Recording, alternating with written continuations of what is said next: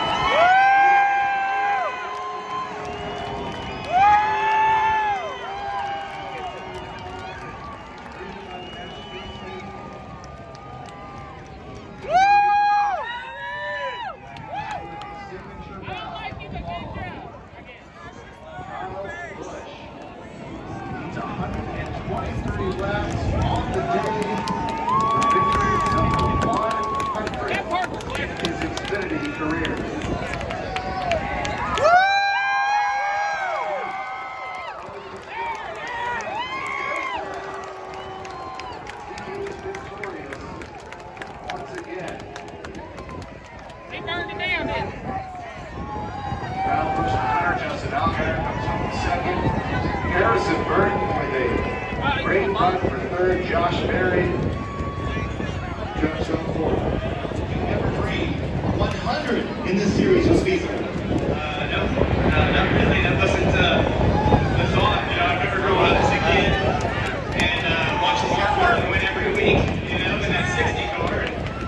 You just look at the domination that he had and he's, you know, number two, 49 wins or something like that. And just phenomenal years of being able to have such association with Hogan's Racing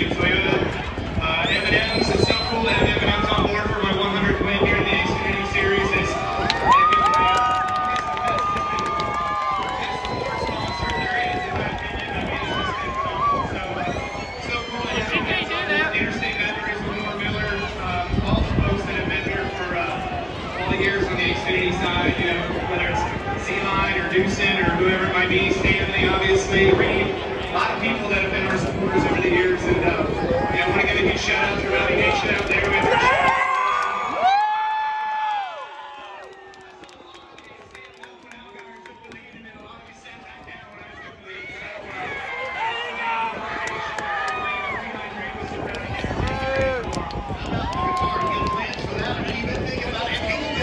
you might have got in the piece tonight.